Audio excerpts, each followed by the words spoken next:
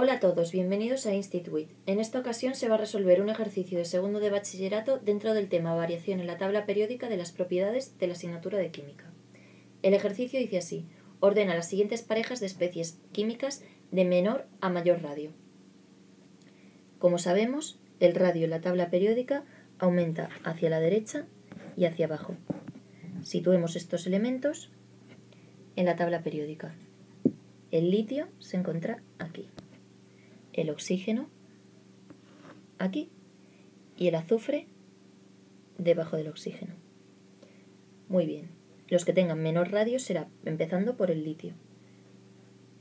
El litio más al tener un electrón menos tendrá un radio menor que el del litio.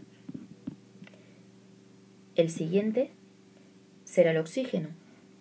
El oxígeno con dos electrones tendrá un radio mayor, por tanto irá oxígeno y oxígeno 2 menos.